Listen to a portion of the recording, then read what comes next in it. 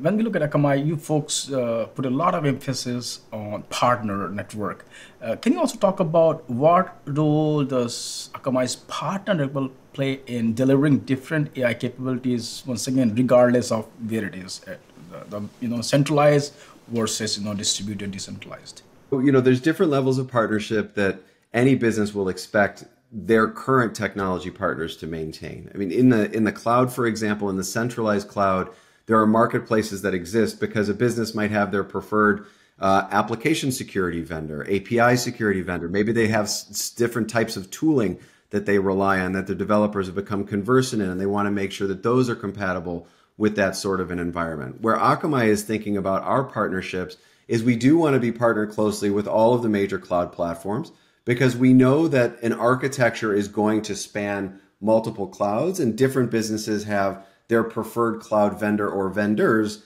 and that's just a, a, way of working now across the internet. We've seen a lot of news about you know different juggernauts in compute that are suddenly partnering and deploying one another's services on one another's clouds and that is really a, a response to that market condition where businesses are saying i need the flexibility to use the software or the partner that i prefer for a given area of my my tech stack now, where we think about extending AI to the edge and, and satisfying some of our customers' use cases as they evolve them in the direction of you know real-time AI processing,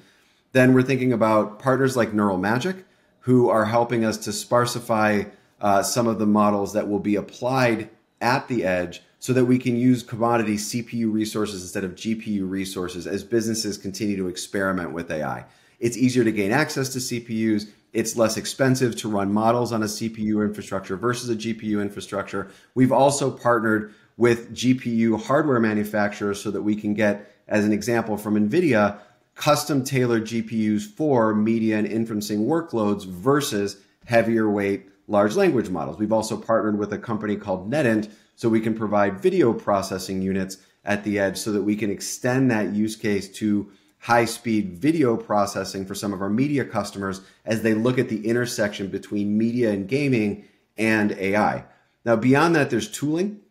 There's all sorts of uh, developer tools that will want to create models, to train models, to start to test those models with different types of inputs than, than developers are used to with sort of static testing frameworks. And then we're also looking at integrations with existing services and uh, devices so that we can apply the AI uh, to the use case more easily for our customers by providing them basically with a full suite um, of partners that will extend what we deliver first party and really accelerate the route to market because our customers will be able to take advantage of the flavor of software that they're used to or they prefer on an open platform. And that really is the, the cornerstone of our approach in cloud is that we want to have an open platform that allows our customers to choose the software or the partner that they prefer so that they can architect the best possible solution where Akamai's differentiation will come in our ability to deliver and execute any of those decisions closer to where their users are, certainly more more distributed and closer to users than